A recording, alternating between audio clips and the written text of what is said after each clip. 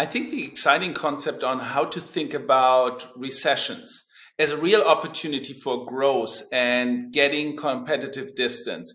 Similar to the concept of um, if you look at the Giro d'Italia, where you have cyclists running out and running in the plain, um, and they are um, while you're in the plain, nobody is making distance. Everyone is together. But now the mountains is coming, and the mountain is a little bit like the recession. So you you come to the mountains, and the ones who are resilient, who have kind of the strengths, they are getting distance from the group. And when we are through the recession at the top of the mountain, where we go into the plain again, now the field has separated.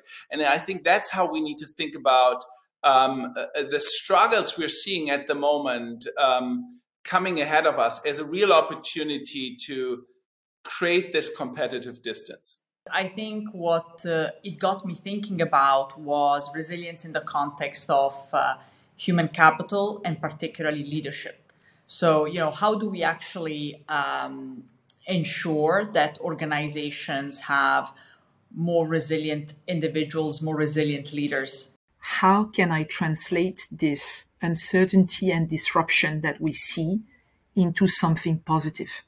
How do we leverage the pivot um, of the supply chains to promote different agricultural methods for our agricultural uh, clients?